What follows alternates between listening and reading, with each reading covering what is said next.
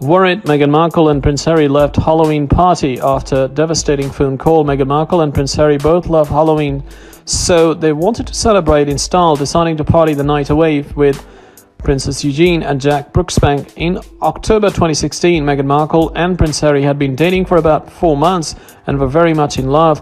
They didn't let the Atlantic Ocean stop them from getting to know each other and both traveled thousands of miles to spend time together.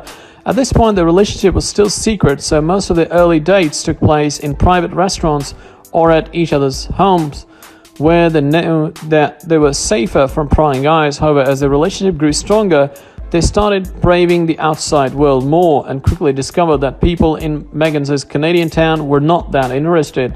So when it came to Halloween, they both knew they wanted to go out and celebrate, so came up with a plan in their book Finding Freedom. Royal reporters Omid Scobie and Carolyn Durand say that the couple were having the perfect evening at the Soho House until a phone call ruined everything and changed Meghan's life forever. They write, they especially didn't feel like spending Halloween weekend in hiding as there was much to celebrate some four months into their relationship, they were madly in love and eager to take part in the fun of one of their favorite holidays. The evening of October the 29th, with Harry in town, the couple decided to go to a big costume party being thrown at Soho House in Toronto. The couple bought Venetian style masks, which meant they could go about the party anonymously and nobody knew that they were celebrating alongside a prince. Scobie and Durand write surrounded by the establishment's exclusive clientele and confident due to a rule that discouraged patrons from surreptitiously snapping pictures with their phones. Harry and Meghan felt at ease. Harry's cousin, Princess Eugenie, was also at the party with her now husband, Jack Brooksbank, and the two couples were having a great time until the prince got an unexpected phone call. A newspaper had found out about their relationship and were going to go live with this story the following day. The author writes, A cocktail or so into the party, they were both feeling relaxed, absorbing the Halloween spirit. It was possibly the perfect night out until they received a call from one of Harris's aides at Kensington Palace. It wasn't good news. The couple decided to call it a night and went back to Meghan's apartment to work out what they were going to do so.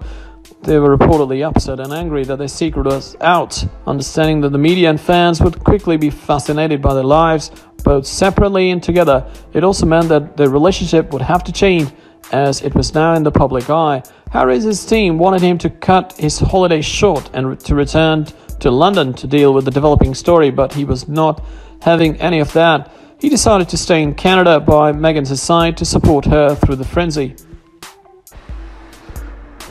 Prince Harry furious, he and Meghan Markle were shunted aside. In final royal engagement, Prince Harry was furious after seeing he and Meghan Markle were to be so graphically shunted aside. At their last public royal engagement, a royal authors claim Prince Harry was angry after he had been informed that he and Meghan would not take part in the procession at the Commonwealth Day service. Royal author Robert Lacey has claimed the author reported in his book Battle of Brothers how the Sussexes had been shunned from the traditional procession which sees senior royals following the Queen through the aisle of Westminster Abbey before the start of the service.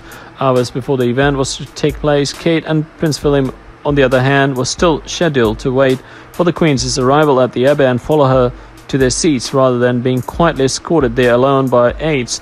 This decision, Mr. Lacey noted, would have made the different statuses enjoyed by the heir William and the spare Harry more evident to the public. He wrote, When Harry heard that he and Meghan were to be so graphically shunted aside on this final appearance, he was furious. The subservience of a spare, one of the basic reasons for this very sad parting of the ways, could not have been more strikingly illustrated. The Duke of Cambridge, however, changed these plans last minute and agreed on entering the abbey with Kate shortly after his brother and sister-in-law. Mr. Lacey wrote, The phone lines have hummed over the preceding weekend. The service was on a Monday afternoon. Unfortunately, Prince William had more sense than his underlings. He and Kate would be quite happy. He declared to skip the procession and to take their places without ceremony in the congregation alongside Harry and Uncle Edward. The exclusion of Harry and Meghan from the lineup and the upset it created was discussed also by Finding Freedom's author Omid Scobie and Carolyn Durand. The royal experts wrote in their book the decision had been made without their consultation and they were informed long after the 2,000 orders of service had been printed for guests with the names notably absent. This year it would be just the Duke and Duchess of Cambridge, the Prince of Wales, and the Duchess of Cornwall walking through the Abbey with the monarch. It felt intentional. Harry was more than disappointed, a friend said. He spoke up, but the damage had already been done. A source close to the Sussexes also reported in the book saying it should have been the one public moment where the royal family put their arms around the couple for a show of support. They purposefully chose not to put them in the procession and not to be welcoming. It was the most unpleasant. Prince Harry, Meghan Markle news, Commonwealth Day service, Duke, Duchess, Sussex. At the time, Buckingham Palace said there was no set format for the event, suggesting that lineup could change every year. Just minutes before the royals arrived at Westminster Abbey, royal commentator Rebecca English broke the news that the Cambridges and Sussexes will not take part in the Queen's procession. She wrote on Twitter, confirmed the Duke and Duchess of Sussex will not be part of the Queen's procession through the Westminster Abbey at the start of the Commonwealth service as they make their final official appearance as senior royals. Harry and Meghan are joining the Queen, the Prince of Wales, the Duchess of Cornwall, and the Duke and Duchess of Cambridge as they carry out their last public royal duty just before they step down as senior working royals. But unlike last year, Harry and Meghan will be conducted to their seats rather than waiting for the Queen's arrival and walking through the Abbey with the monarch and other senior royals.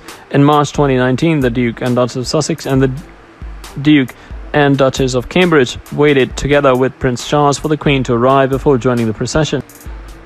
On that day, the three couples were seen chatting. Meghan and Charles were even spotted sharing a laugh ahead of the beginning of the ceremony. In March 2020, on the other hand, the Sussexes and the Cambridges exchanged only a few nods and words to greet each other. Meghan Markle, Prince Harry kept Archie's godparents secret, irking Prince William. Meghan Markle and Prince Harry stirred chaos last year when they broke the royal tradition, choosing not to announce the names of their son Archie's godparents publicly. The Duke and Duchess of Sussex not only received severe criticism for keeping the service and details surrounding it private, they also made Prince William confused and unhappy about it. Royal author, an expert of Battle of Brothers, Robert Lacey's claimed that the Duke of Cambridge was confused and unhappy about Prince Harry's decision to keep Archie's godparents secret. According to a report by The Sun, Prince William and Kate Middleton followed the royal rule book when it came to their children. However, Meghan and Harry had different ideas, especially when it came to Archie's christening. Archie Harrison Mountbatten Windsor, born in May 2019, was christened at the private chapel in Windsor Castle in July 2019. The report says rather than Inviting photographers to stand outside the chapel, Meghan and Harry made the entire day private and instead released some of their own pictures. Traditionally, all members of the British royal family have got parents and they're referred to as sponsors, according to Lacey.